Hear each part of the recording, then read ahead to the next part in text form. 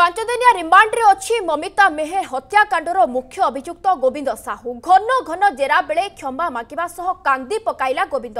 ନିଜ ଭୁଲ ଓ କଳା କାରନାମା ମାନିବା ସହ ମମିତାଙ୍କ ହତ୍ୟାକାଣ୍ଡରେ ସହଯୋଗ କରିଥିବା ସମସ୍ତଙ୍କ ନାଁ କହିଲା ଗୋବିନ୍ଦ ସାହୁ। ଗୋବିନ୍ଦଙ୍କ ସୂଚନା ଅନୁସାରେ ଏବେ ସୁଦ୍ଧା ଚାରି ଜଣଙ୍କୁ ଅଟକ ରଖିଛି ପୋଲିସ। ନଅଟି ଟିମ୍ ଗଠନ କରି ହତ୍ୟାକାଣ୍ଡ ସମ୍ପର୍କରେ समस्त तथ्य साउटुची पुलिस आ खूब शीघ्र गोविंद और अन्य अभुक्त को नहीं क्राइम स्पट्रे क्राइम सीन रिक्रिएसन कर बलांगीर पुलिस सेपटे घटन बर्तमान पर्यंत एगार जन को अटक रखी पचराउचरा करुच्छ